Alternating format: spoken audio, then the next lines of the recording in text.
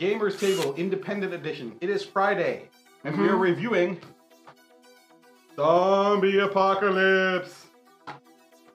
It has a great theme. I mean, you know from seeing some of our review, regular reviews of the Gamers Table that we're all into zombie games. We enjoy zombie games. Hey, you saw our Halloween episode, you know how much we're into zombies. You've heard it all before. The Yeah. dead are coming back to life, and they're hungry. Cemeteries are empty, and the world is a wasteland. The living, it's what's for dinner. But now it's for real. Z Day is finally here. Put down your cell phones and pick up your guns. It's time to put that lifetime of survival training from zombie movies to use. I hope you were paying attention. If not, you had better remember one thing. When being chased by zombies, you don't have to be the fastest, you just can't be the slowest. You thought I was going to say shoot him in the head or something, didn't you? Welcome to the zombie apocalypse. Very nice effort with the art and cards. Chris likes Yeah. the pictures. Oh, it's nicely done. Like Oh, the pictures are good. you got a black-eyed zombie, which has got a picture of a woman there with gross stuff all over her chin and like hollowed-out eyes. And This is a zombie infected that can team with other infected zombies, and, and it cannot be teamed up against. Um, one thing I do like about this game too is I like the theme. I kind mm-hmm. of started off saying that, and then I realized, what? Okay, well, what am I gonna say? Yeah, well, zombies are fun, nice. I like zombie the zombie theme. Yeah, zombies is kind of cool.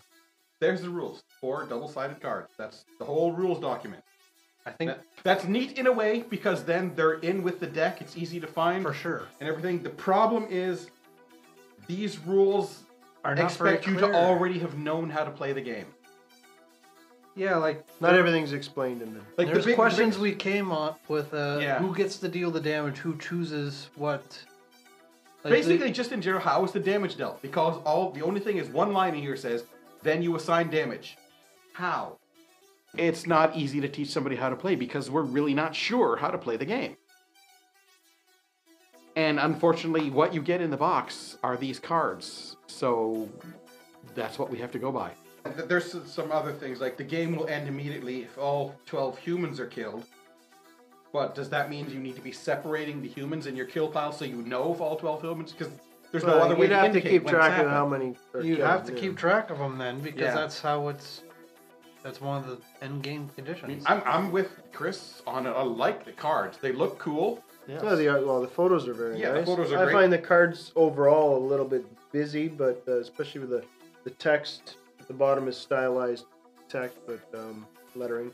But overall, yeah, the, the cards look pretty good. There's some great, nice, sharp, clear photographs of people in zombie outfits, and you know, costumes and things like that, and they look pretty creative with that. Yeah. Some of the names, you know, uh, are an homage to some of your horror films out there, like Shaun of the Dead. You know, you got Yeah, Shaun and Ed will. you got Shaun and Ed in together. there. You got little Ash and training. You know, Ash. And there's um there's bride and groom zombies that team up together. yeah, you got different team ups. You can some zombies can work together. Some humans can work together. The pictures on the cards are great. They're entertaining. They're really cool zombie makeup for the most part. But really, that's all it's got going for it. So wrapping up for Zombie Apocalypse, I give Zombie Apocalypse a four. Theme. Oh yeah, there's a theme there. It's, it's zombie killing. There's, there's no doubt that the game holds with the theme. Um, easy to teach. No, because the rules aren't clear. So you got to take points on that. Fun to play. Not really, because it's just I slapped on a card. You go to you go to four. You go to three. We could be rolling dice without looking at these cards. It's another one you could roll a die. You win. Yeah, So- it really boils down to how the cards come out. I give Zombie Apocalypse a four. Well, the cards are great. The theme works. Well, I, I, look at the that, cards. To, great. to me, this, yeah, the cards are like the backs of the cards are nice. It's- but the artwork though, it's not really the mechanics that you're talking about. Well, yeah, it's the artwork. I, I enjoy it, and not, even the cards that are the exact same card have different artwork on it, which Yeah, I can really appreciate. Mm-hmm. that's nice.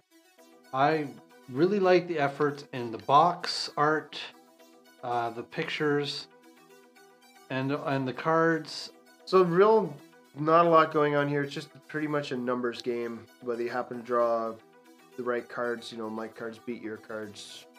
There's not much to it other than a nice, real cool photos and a little bit of sense, you know, nice sense of humor. There's a little bit of planning. You got seven cards in your hand, Yeah. so you have a one in seven choice. But I mean, there's the game that I had like four of the same card. So they're uh, one in four choice. when you're forced to play a card, you know, you don't want to put more fodder down for the guy if you don't have to, but you, you're pretty much chucking away wasted cards and you're not really getting anywhere. So I can't really give it that much. Uh, I just don't find there's enough enough depth to the game. Um, and I can't base the game just on artwork alone. It, it's got to be mechanics and gameplay and replayability. I'm gonna have to give this one uh, a three. I really, really want to like this game. But with the rules, it's really unplayable. It's pretty much all right.